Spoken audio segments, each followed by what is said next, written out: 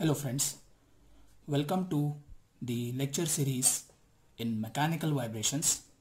So today we will be starting with the first lecture and this will be just an introduction to mechanical vibrations.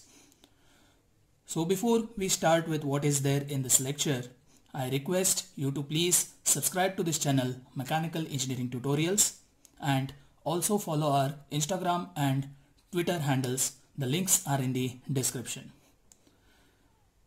So in this chapter or in this lecture we will be seeing an overall view of what is the content in mechanical vibrations.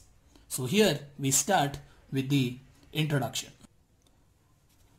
So here the first chapter we will be learning about the definitions in mechanical vibrations. So here the definitions like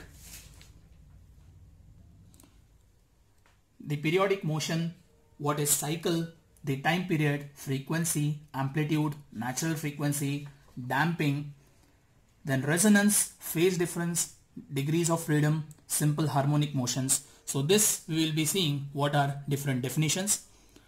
Also we will be seeing the causes of vibrations, the types of vibrations, simple harmonic motion, what is Beats phenomenon, then harmonic analysis. The next chapter is the undamped free vibrations. So in this we will be seeing the derivation of differential equations for undamped free vibration by the energy method and Newton's method. Then we will be seeing the natural frequency of free transverse vibrations, the natural frequency of beam carrying uniformly distributed load, then torsional vibrations, torsional vibrations of single rotor system, spring combinations and its equivalent stiffness. So these are the two chapters. So coming to the next chapter. So next chapter is the damped free vibrations. So again here also we will be seeing what is single degree of freedom system. Then what are different types of damping. Then we'll also see differential equation of damped free vibration like how we had seen the differential equation of undamped free vibration in the previous chapter. So here we will be seeing the differential equations of damped free vibration. We will be seeing the logarithmic decrement, then response of viscous damped system in three cases that is underdamped, critically damped and overdamped.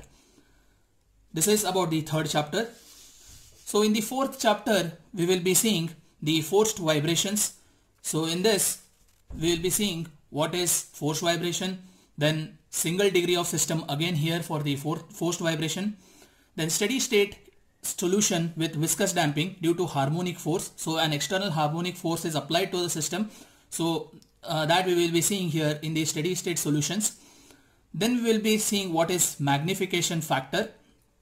Then we'll be seeing the unbalancing of rotating and reciprocating components. Also we'll be seeing the vibration isolation and transmissivity ratio and vibration transmissibility due to base excitation we will be seeing in this forced vibration. So coming to the next chapter that is chapter number 5. So here we will be seeing about the vibration measuring instruments. So first we will have the introduction about what these vibration measuring instruments are. Then in particular we will be seeing about what is vibrometer and accelerometer. So how does this works and what is the driving or governing equation of a vibrometer and accelerometer. Here we will be also seeing the frequency measuring instruments like how the vibration and accelerometer measures the acceleration. Similarly there are instruments that measure the frequency. Then we will be seeing what is critical and whirling of shaft that is critical speed of the shaft and whirling of shaft so here we will be seeing in vibration measuring instruments. The sixth chapter, here we will be again seeing the systems with 2 degrees of freedom. So in previous lectures or the previous chapters, it will be focusing mainly on the single degrees of freedom system. So here we will be seeing systems with 2 de degrees of freedom system that is denoted as a DOF. So here we will be seeing in the introduction what is 2 degrees freedom of system then the principal and normal modes of vibrations We'll be also seeing what is coordinate coupling, generalized and principal coordinates, free vibrations in terms of initial condition. So this will be the chapter number 6. So in chapter number 7 that is continuous system we'll be seeing what does this continuous system means. So continuous systems are the systems like a string or rods or beams or bars. These are all as continuous systems. So in these systems we'll be seeing how the string vibrates. So the expression for vibrating of the string. So there are differential equations and which we will be solving to determine the vibrating string. Then also we have longitudinal vibrations of rods or bars. So that will be seeing these are the derivations and using the equations we'll be solving numerical problems also. Then we'll be seeing here torsional vibration of rods then Euler's equation of beams. So these will constitute in the continuous system.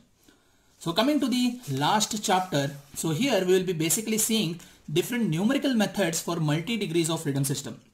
So here these systems will have multiple degrees of freedoms like here we had the single degrees of freedom and we have seen now what are two degrees of freedom. So here they will be having three, four, five, so on. So there will be multiple degrees of freedom systems. So in that case, you have to determine the natural frequency of the system. So for that, we will be having different numerical methods. So the first we will see what is this numerical methods and what is multi degrees of freedom in the introduction part. Then we will see what are influence coefficients. Then in influence coefficients, we have Maxwell's reciprocal theorem and using that we will be determining the natural frequency of a system by denoting some influence coefficients on that system. Then the second method is the Dunkerley's method. Then we have the Rayleigh's method. Then we will see orthogonality principle and using this orthogonality principle we have the matrix iteration method and then there is Holzer's method and Stodola's method. So these will be the different methods which will be uh, seen in the numerical methods for multi degrees of freedom system. So all these chapters apart from theory constitutes some numerical problems also. So here we will have sufficient number of lectures covering the entire curriculum of mechanical vibrations for UG course. So here basically I'll be making use of the textbook Mechanical Vibrations by VP Singh. So this will be our major textbook and based on this textbook we will be conducting these lectures. So welcome to the video lecture series in mechanical vibrations. So in the next lecture, we will be starting with the chapter number one, that is introduction. And over there, we will be seeing all those uh, what are different definitions or the terms used in vibrations.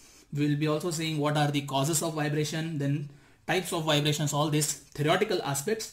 Then we will see what is simple harmonic motion, then Beats phenomenon and harmonic analysis, and there will be some numerical examples in this. So in the next lecture, we will be starting with the chapter number 1. So thank you for patient listening. So please like and share this video with your friends and please subscribe to our channel Mechanical Engineering Tutorials. Please like our Facebook page Mechanical Engineering Tutorials and also follow us on Instagram and Twitter. The links are in the description. Thank you.